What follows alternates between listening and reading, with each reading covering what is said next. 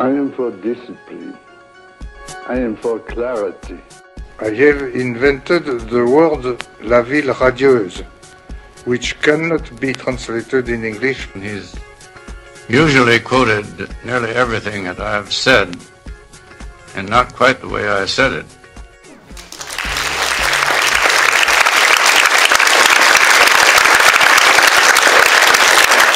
Thanks. Can you hear me or will I, will I turn the microphone on? Microphone. You hear me? Yeah. Is it better without it? It's not like microphone, so if you get away without it, I prefer it that way. I'll use the microphone. Okay. Um, thanks to the AAI for the invitation and thanks very much for coming. Um, I'm interested in the title of How We Work, Making Practice. Um, as an architect and possibly more as a musician, I believe practice is very important. It is a type of meditation, a form of deep listening that makes poetic observation possible. In music, this is the poetic form of, or this is the poetic born under the fingers, felt rather than intellectualized. And I believe this rational poetic is very important. Um, I would just like to go through some lessons and, and observations maybe in traditional music because my mind seems to kind of cross the two quite a lot and I find it very helpful as a way of working. So traditional music, traditional art music works best in kitchens, small rooms that support people playing music together. It is an oral culture, passed between generations, mapping the lives, the struggles, longings and accomplishments of those who have contributed to it. It is not fully recorded in writing and cannot be described through theoretical text. It is a living, changing culture that describes what it is to be human. It is a culture of conversation, it is not a culture of performance. As a culture, it has a, heart, a huge artistic range. Um, the music varies greatly from region to region. Um, it has an ability to translate the physical characteristics of a place and its people. Donegal, for example, with a direct, strong sound with its nuance and tonality, matching the accent and landscape, it records a conversation with Scotland and Scandinavia in its ornamentation and in its bowing.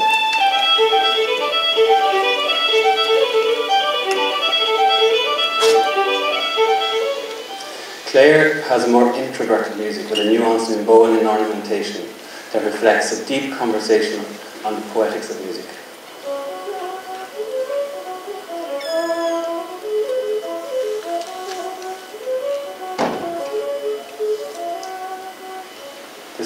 Luachra area of Kerry and Cork bring introspection and humour, and the record of laments such as Queen Egonal and O'Reilly's Grave.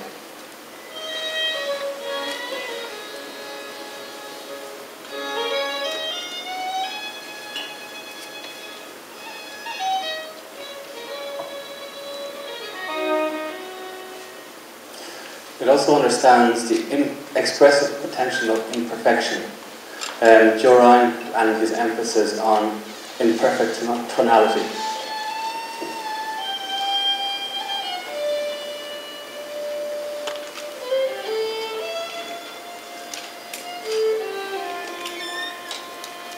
It has a sophisticated understanding of ornament. It is the poetic language of traditional music. Like jazz music, there are standard tunes that are not explored through improvisation. The improvisations are in rhythm, tonality, and ornament. Ornament is not a device to colour the basic tune, it is a landscape of its own where poetic ideas and themes are explored, independent of and in conversation with the tune that supports it.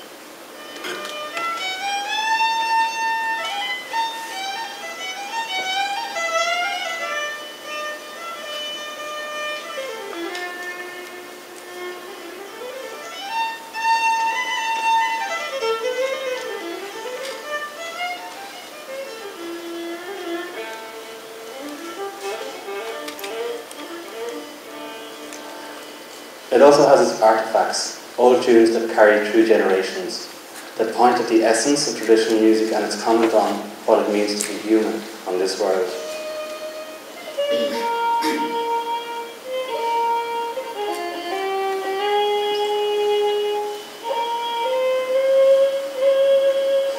My practice of architecture is a strong, it's, it's a strong influence of my practice of architecture.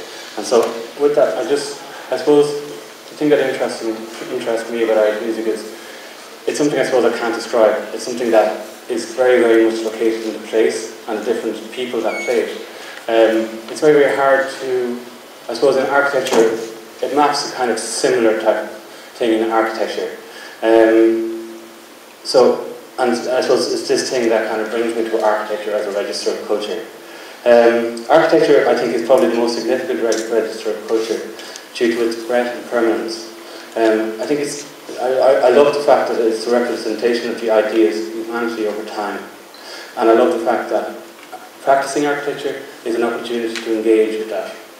Um, the ambiguous and metaphysical structures of aesthetics and art and religion, I think, are important to how cultures describe themselves. I don't think they describe themselves rationally.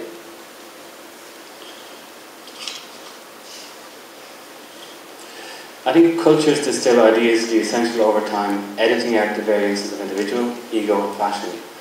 This distillation becomes embedded in their artifacts. They express the identical psychic structures common to all, which together constitute the archaic heritage of humanity, in the words of. Potential ar potent artifacts exist in music, material, culture, art, and architecture. Their poetic cannot be described in language, they, their essence can only be felt through the nature of the artifact itself. I think we see this in the work of Corb, and in the work of Pickler, and in the work of Kahn. But I think it's in material culture that the artifact is most easily identified in objects that are beautifully distilled examples of the symbiosis of the physical nature of place, the art of making, and the traditions that require them. Vernacular architecture is similar, a distillation of the material nature of a place, climate, and the rituals of life. They are not abstract entities where life is excluded, they highlight the consistencies and inconsistencies of life, a culture, and a place. Cultures distort and cross-pollinate with wider ideas to map thought and social history. It develops divergent influences and pushes ideas forward. It makes a rich tapestry of place. I'm particularly interested in atmosphere in buildings that we inhabit. It touches on the poetics of artifacts already outlined, but it also, through the careful study of interior space, the poetics of the interior. I think proportion and light to the way we move through spaces and sound is how we find the atmosphere of interior spaces.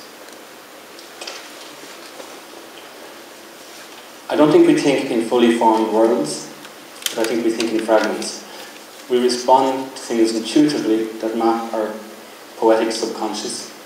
We collect and assemble fragments of ideas in our work. An exploration of the metaphysics of architecture, I think, is a very, very hard thing. It's a very difficult area in which to work. So how do we explore it? In looking at architecture in the 20th century, I think there has been an emphasis on the theoretical underpinning of architecture development through manifesto and writing. For example, international modernism, postmodernism, and deconstructivism. I think at best, it has produced an architecture for a new age, and at worst, a knowing game or a theoretical construct. Wittgenstein says that language has an underlying logical structure, an understanding of which shows the limits of what can be clearly and meaningfully be said, and therefore taught. But there are limits to what can be meaningfully said and therefore taught through language. Beyond this, language becomes nonsense and the traditional problems of philosophy arise. He says that areas beyond the limits of language and linguistic thought are not nonsensical, but are the matters of aesthetics, religion, and the poetic. They are the things that cannot be put into words. They are what is mystical. I think architecture is beyond the limits of language and linguistic thought. I think theoretical writings can be descriptive, but cannot directly engage with the fundamental poetic of architecture. Contemporary architects that have explored the poetic have engaged with language in a different way, as pieces of divination in their own right.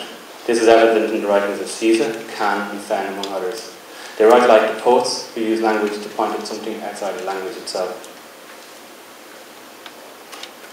It's going to catch up. Um, they also have explored their work through irrational poetic devices that are instinctual and personal. They, have, they are always embedded in conversation with the culture in which they work. The rules of architecture have always been the same. I think Kahn puts it very well when he says that drawings are expressions of one's striving to reach the spirit of architecture. So really that's my way of introduction. Um, and then on to practicing architecture. I was, um, I think I, I graduated in 2002. Um, my first project after college was, um, and what I'd like to do maybe tonight is just talk about the practice over the last 10 years. Um, when I left college, the first project that I worked on was with Donaghy Dimond on a project in Donegal for friends who are traditional musicians. I think I was very lucky to work with Will and Marcus. It was an apprenticeship where I learned the art of building. Carrickfinn is located on the southeast coast of an island connected to the mainland by a sandbar. It is an incredible landscape, changing with the tide and looking back towards Donegal and Errigal in the distance. The house is from Ray Newany and Dermot Byrne, who are well-known Donegal musicians and whose cultural home was Donegal. They wanted, a, uh, they wanted a place for musicians to congregate in Donegal and to play music. The project allowed or required us to enter into a conversation with the nature of the landscape and the culture of the place, the nature of interior space through sound and presence, and the art of building. We studied landscape at various scales. We mapped both the existing culture and the cultural memory, identifying the important cultural artifacts of the domesticity. We also began thinking about sound in space. This is Planet Ravenna, um, and I think it's a hugely important influence. Christian churches, I think, are very interesting because um, they have led to the development of Western classical music. Because of their long reverberation times, they've kind of outlined harmonic structures, they've outlined kind of harmonic musical world. I think Ravenna is kind of interesting because it's got this middle space, which is two-story high, which is wrapped by a necklace of acoustic, of secondary acoustic spaces out here, here, and here. I think that's really interesting because um, the long, the reverberation time of the period in the middle is extended by the reverberation. Is extended, reverberation time is time that when you play a note in this zone, the note travels to the wall and comes back to all surfaces and comes back to the original point. In this instance, because of this collection of spaces, reverberation time is lengthened to travel out here and then back, and indeed out here and back into this space, giving you a kind of a broader delay on music so that it feels like a much warmer space to play.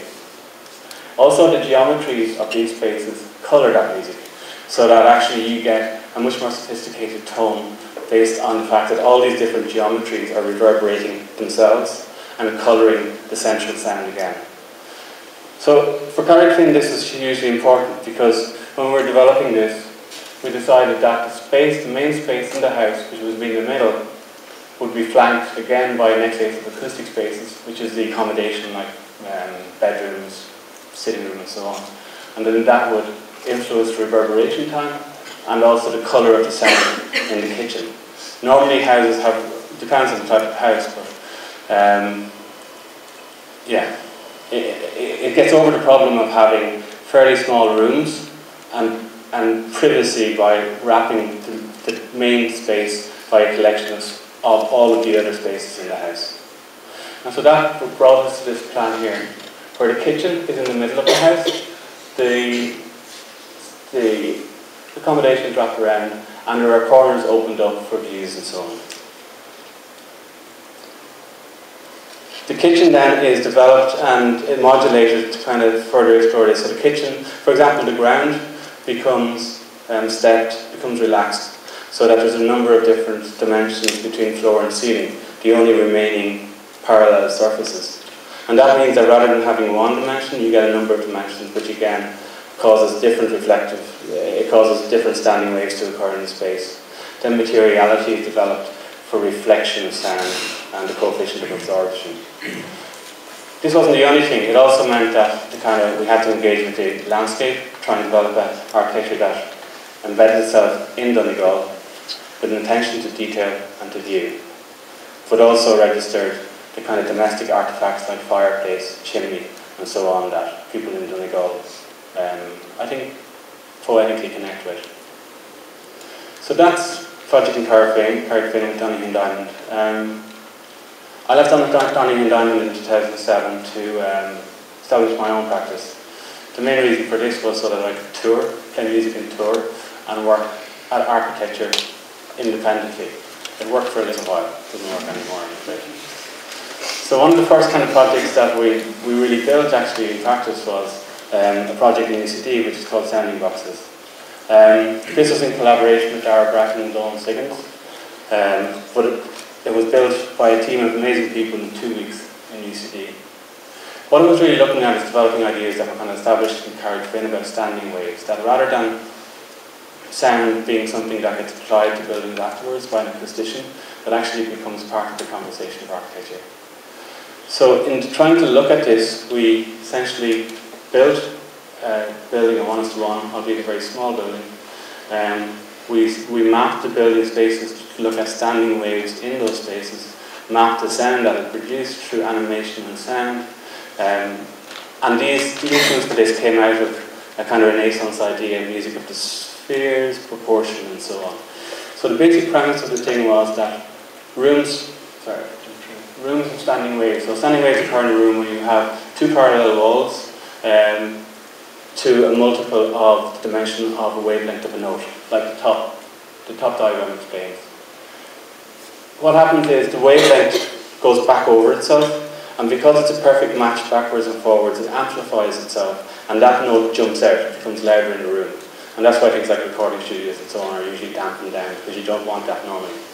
But in relaxed space, I think that becomes very important. It's why cathedrals sound all those types of things.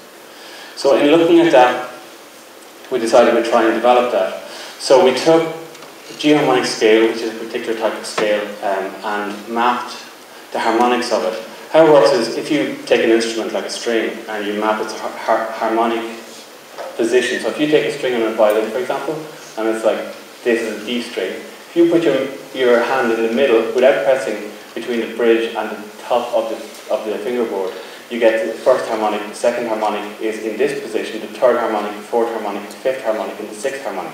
And they're harmonics that have meaning on a scale. So for example, that's an octave of this note, that's a fifth of that note, and so on and so forth.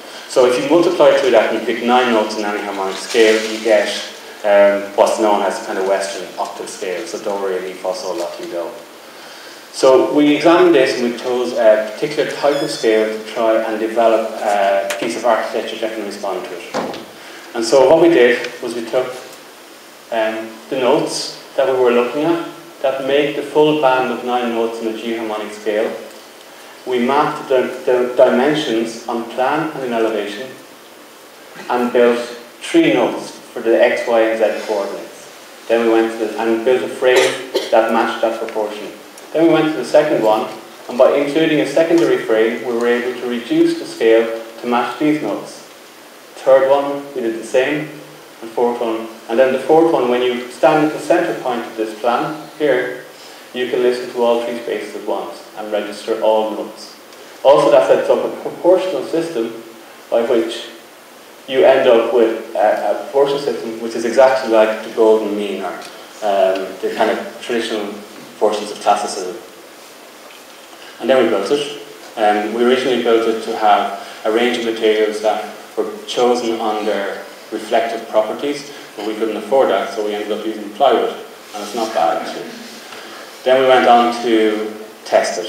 So Dawn, uh, who's a composer, made a series of compositions that were projected into this room, and we used a kind of technique that Alvin Lucier um, identified in his piece, I'm Sitting in a Room, whereby you project sound into the room, you record the room, and then you project the recording into the room again.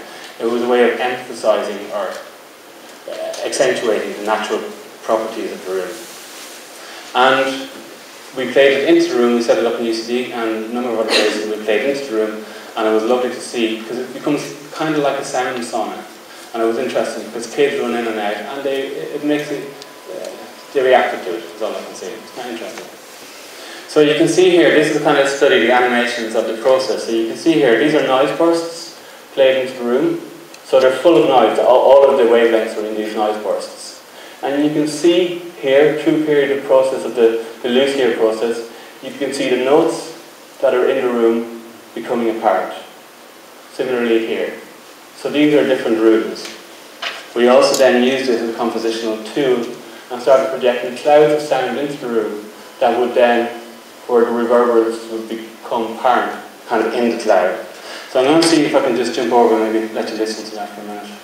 This might not work, but hopefully it will. So we can see some of these exercises maybe.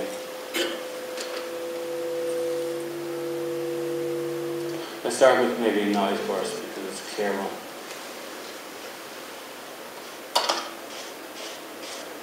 So you can hear the noise burst coming into the room here. And you can't hear anything. Wonderful.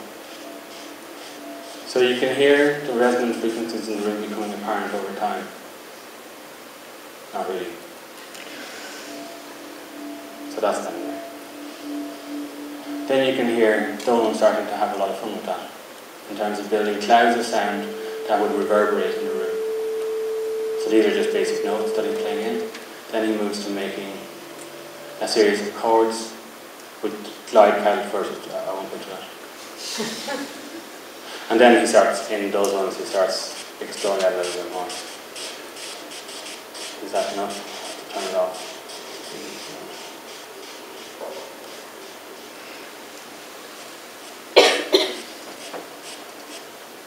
Okay, so that's that. So moving on then, I'd like to talk a little bit about a project that we did for the Royal Hibernian Academy, which is a model project. Can you see that? Yeah. We're stuck. One moment. So this is a project that we did for Royal, uh, an exhibition that um, we were in with Clancy Moore, uh, Burke Culligan Deegan, Ryan Kennihan Architects and TAKA.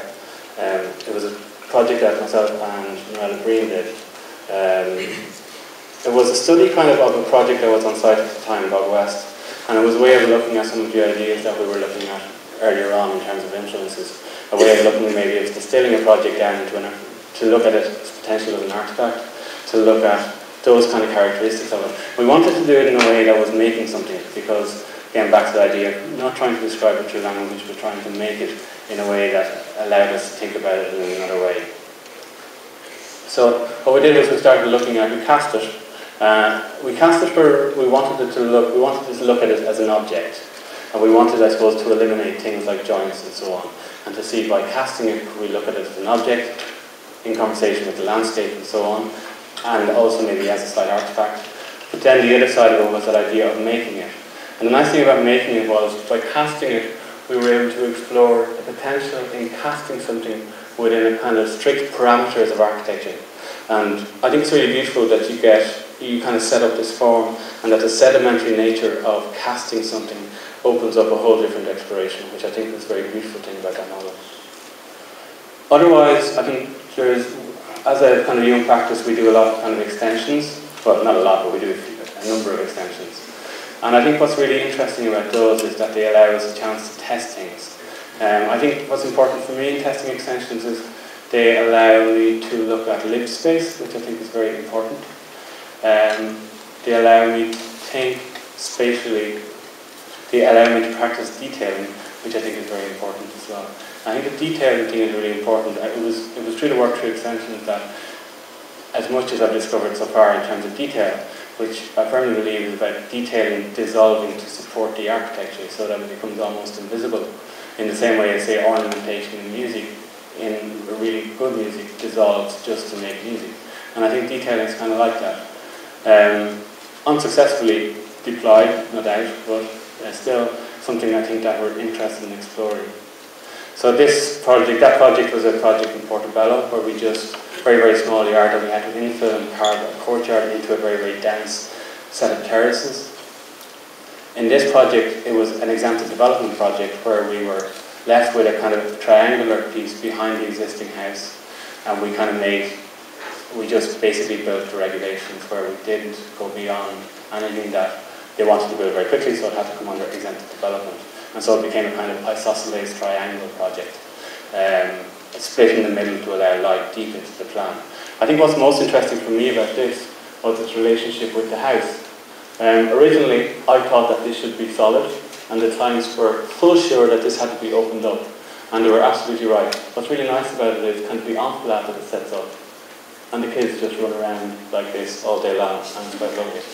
But the other nice thing about it is that this was the existing house, the original house, and so it filled this area. This area was their backyard. So the garden goes off at this kind of jaunty angle up here.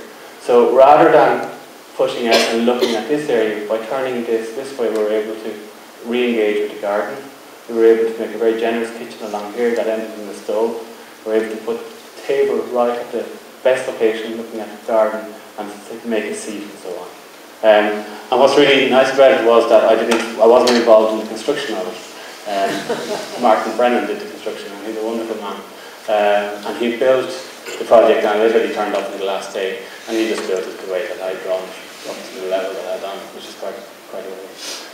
So this is the project in Glasnevin. Um, it's kind of 1930s house, which had problems because it's kind of built on very, very unstable ground. Um, so we literally all we did was to put a new room onto the edge of the house to open up a kitchen.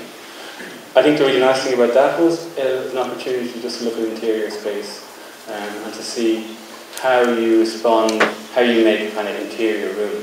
There were a lot of kind of difficulties with it. The orientation was very, very poor.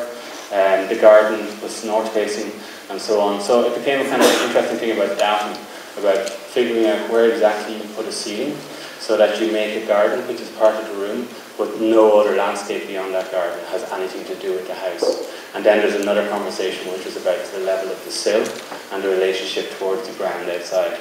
And that's really the extent of the project. Also lets in light.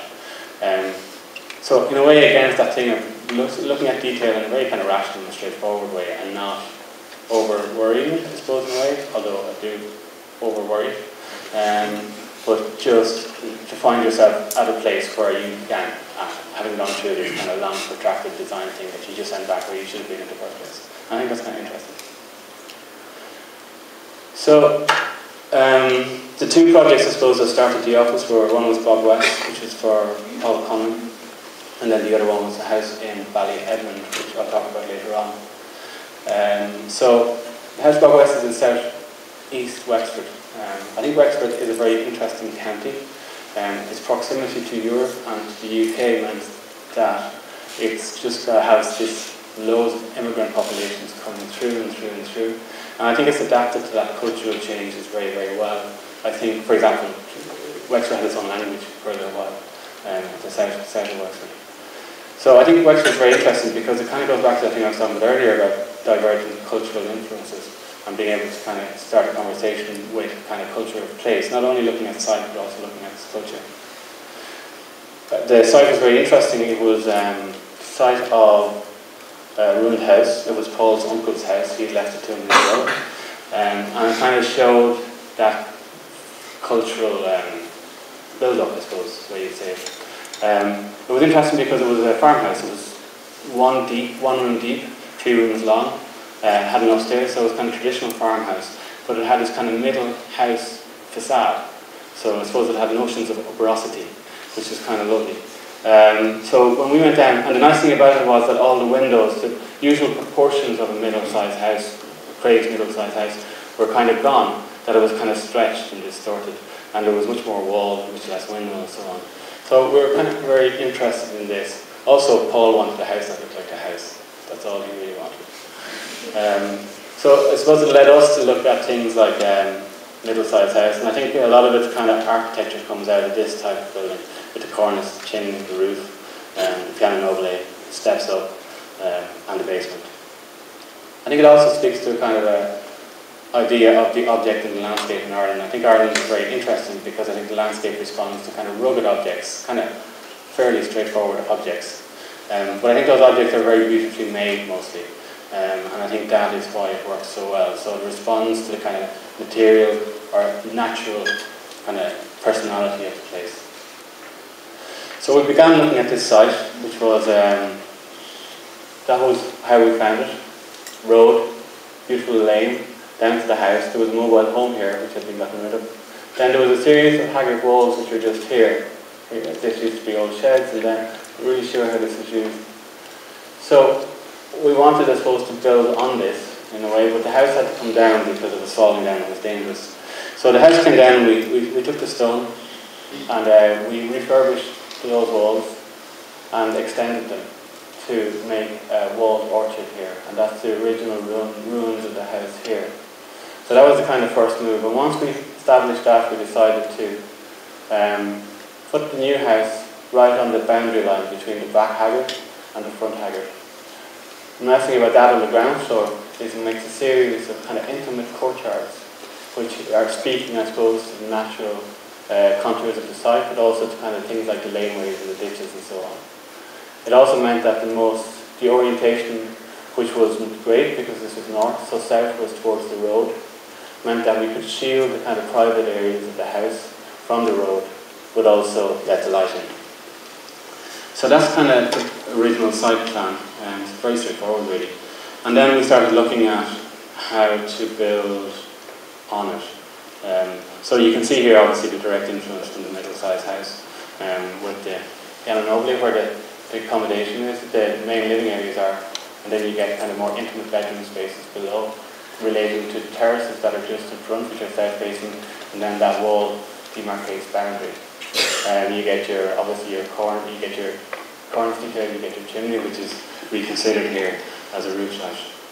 It also kind of carefully sits into the landscape, so it talks to the lane. The nice thing, of, it's kind of difficult to decide where to position it, um, and we decided that we just walked around and decided that actually it wants to have a conversation with the lane, it wants to have a conversation with the land, the back and the view, conversation with the field over here and here. So it became quite clear where the house wanted to sit. Wants to take view then towards the landscape to the rear. So when we were looking at this, we were, um, so you can see here the plan. The plan is very simple. Down the lane, you come into an entrance courtyard here. Over your head is a concrete soffit and a hole in it for a tree to be planted. Um, so you can come in through the doorway here into this hallway. Alternatively, you can come in here, park your car in the garage, and come in here. In this hallway, it's very amusing, just place to hang your coat and so on, and then you come up these stairs to this area here. And at that point, you get a view towards the landscape. You also get access out into this very generous terrace, which feels like made ground rather than terrace, and I think that's important for the landscape upstairs. Then you get dining area, kitchen, little bathroom, utility room, kind of kitchen stuff. And then you get your living areas here, which are quite generous, and you get a space to below here. This is the downstairs is the play area, uh, kids' bedrooms opening out into a terrace, master bedroom, ensuite, main bathroom. The terraces outside are split so that you get a master terrace, you get a rainwater pool dividing, delineating boundary again, and then you get the kids' room. They can actually come up into the orchard and back down again to access here. So that's the general plan. The roof then sits over the living spaces, meaning that we can explore the spatial, this in kind of more spatial depth. So we, the roof structure is a kind of three-dimensional truss. It's got, it works in this way, opening up four quadrants, one, two, three, and four. The roof light is exposed open to the living room in this area, and it's got a shelf here um, for storage and for various reasons. Paul was going to meditate there actually, but he never did that. And then, um, so that really kind of camouflages your view of the roof light as you come up the stairs. So that's the general plan. The section then of develops that, so you get this. It, section kind of works in terms of horizontal and vertical spaces. So this is a horizontal space out here, but it, one side of the bedroom can open up, so this is like a study room. Has um, how am I doing time? Sorry. So this is a, a play area, which is double story height and gives you a view through the spaces up vertically. Whereas the kind of datum set up by the cornice and by the sill kind of demarcate horizontal spaces. Again, horizontal space from the living rooms and vertical space as well. So it's this kind of mesh of two different types of spatial, um, spatial plays. And you can see that in um, studies in the model. And actually what's interesting about this is this is not the way it is. That actually when we were looking at how domestically to orientate the spaces, that a kind of other counterpoint needed to happen. And that became about the furniture. So that actually this is here, you feel this kind of space, but then that space is further carved. I think the technicalities of this, the way that we work, the technicalities of here are interesting. So these are the original walls, uh, and we just simply built cavity construction on the inside of that wall there. And then the two beams which demarcate the kind of first floor area is split, allowing the insulation through. So the cavity is just very simple, normal cavity, and the windows can position themselves uh, in, in conversation with that, with the thermal, with the thermal. And that makes uh, deep areas for our um, gutters, and it also allows us to look at the structure internally of the roof. And then the elevations within that work very much in conversation with the structure in the organisation.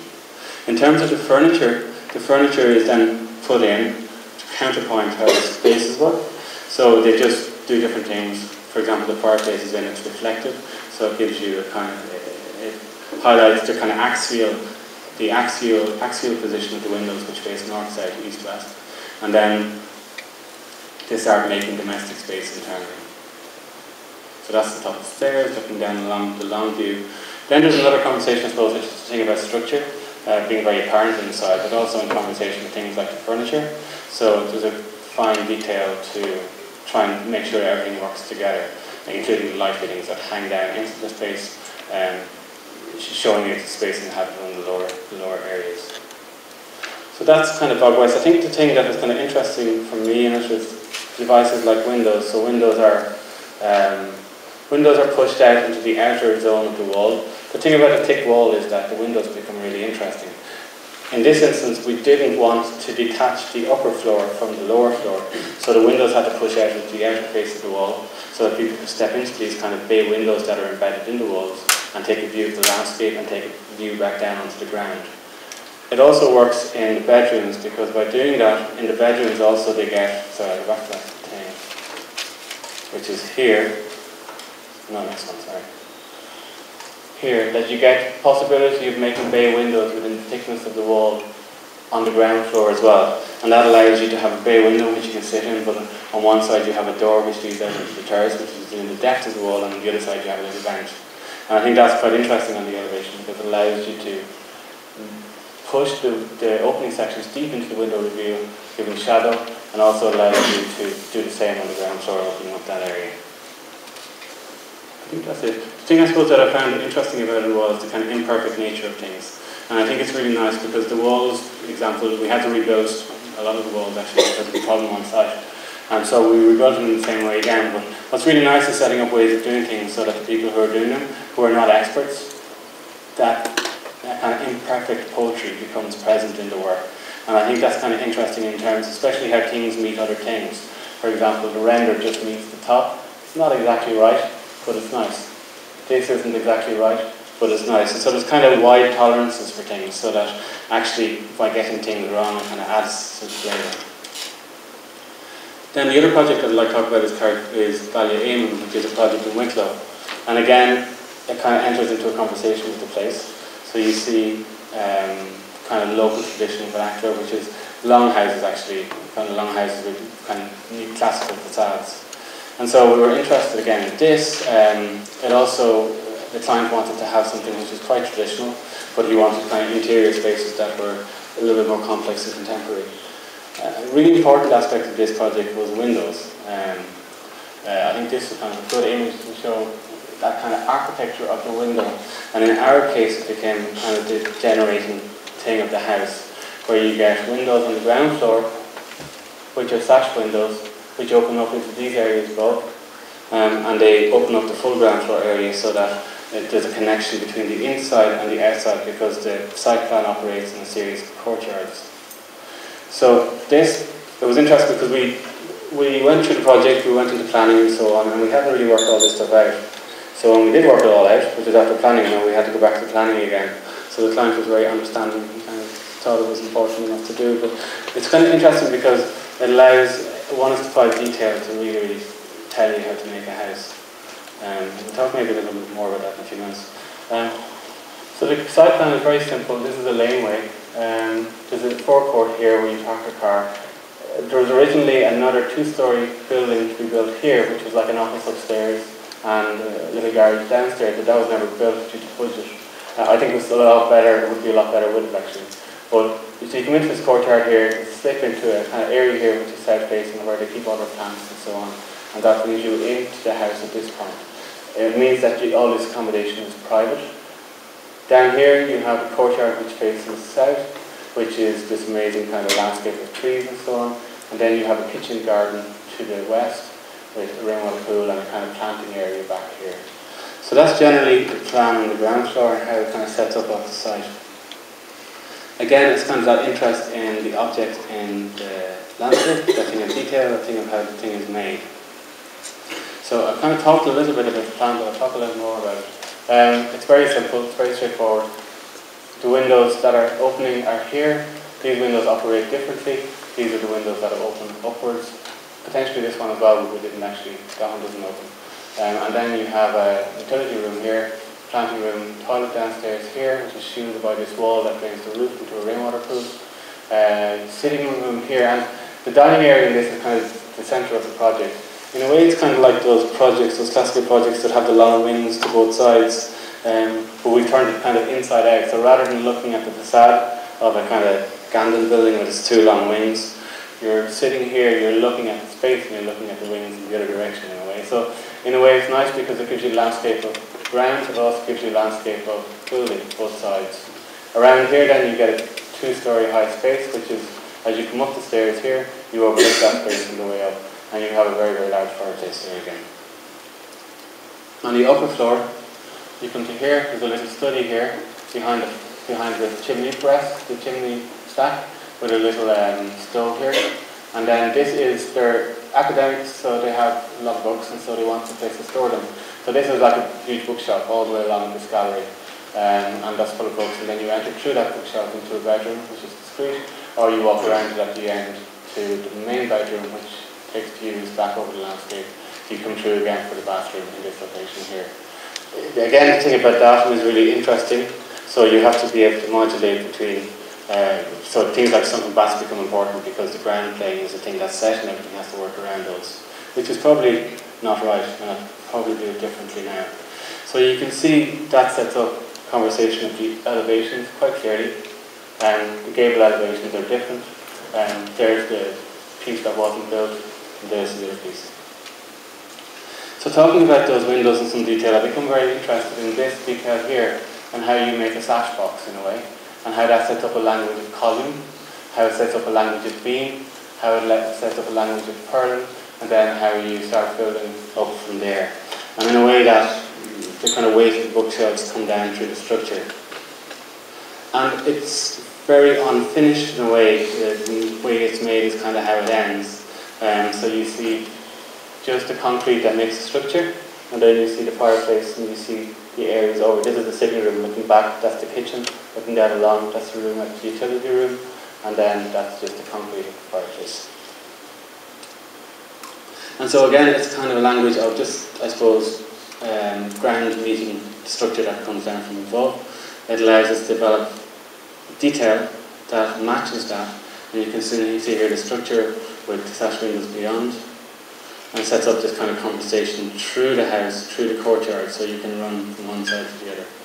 And then I set up a language of entrance and I set up that kind of small language of just kitchen table and opening sash window.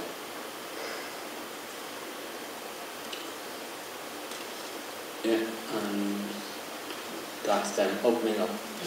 And they're light, they're nice. So that kind of brings me to the end of what I'm going to talk about tonight. I would like to just maybe read out one quote, um, which is somewhere here, find it.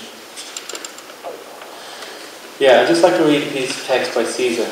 Um, I really like the way Siza writes.